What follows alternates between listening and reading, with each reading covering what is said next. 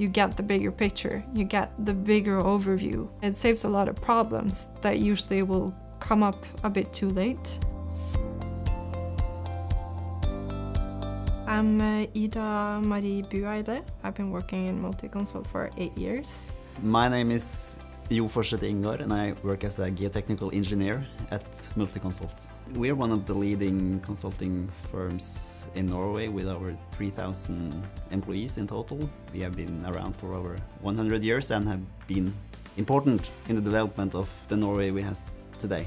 In our projects, we do work from tender design all the way to finished construction and follow-up. This uh, client project we've been working on the last year is one of the biggest infrastructure projects in Norway ever. It's about connecting one of the biggest cities in Norway with the surrounding islands and will improve uh, commuting time with over 20 minutes. Today there's a lot of traffic. It takes a lot of time to travel. Multiconsult's role in this project is a main designer for big parts of the roads.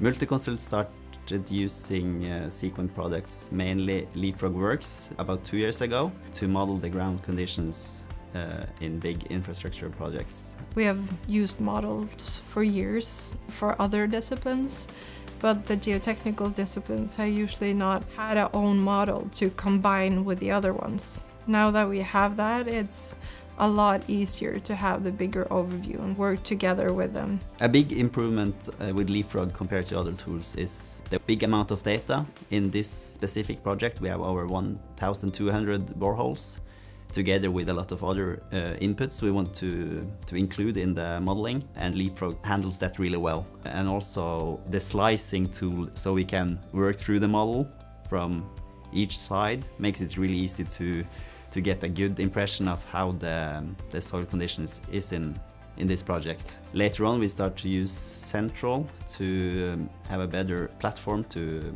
collaborate within the company and also in the engineering group. So Central makes it possible to just jump straight into it when you have your model up. You can have a quick look and get the results immediately and the information that you need immediately.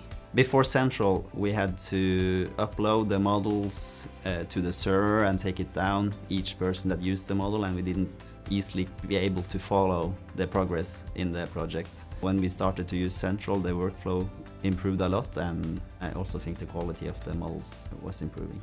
In this project, we're going to develop our model continuously as we go and we get more data. It's very easy for us to update the model that we have with new data and supplement it always. That's a very uh, beneficial to us and saves us a lot of time. We use this support in Seequent quite a lot and they are really helpful when we find challenges with modeling or other problems. Uh, they are really fast to answer us and also provide uh, great uh, feedback.